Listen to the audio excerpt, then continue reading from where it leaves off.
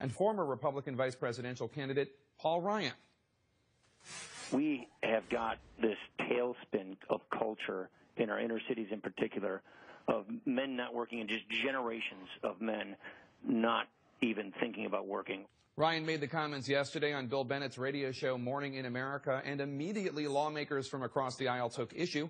Democratic Representative Barbara Lee of California says it was, quote, a thinly veiled racial attack and cannot be tolerated. Let's be clear. When Mr. Ryan says inner city, when he says culture, these are simply code words for what he really means, black.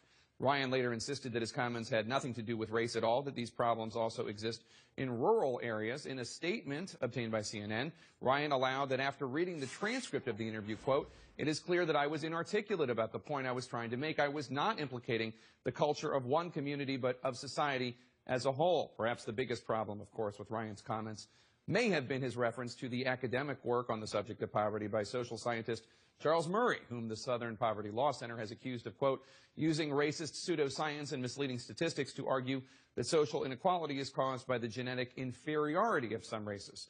A spokesman for Ryan tells CNN that after this controversy erupted, the congressman called Congresswoman Lee to try to express his points. The congressman, they point out, has been devoting a great deal of time, time to trying to discuss ways to combat poverty. The inner city is the focus of CNN's original series, Chicago.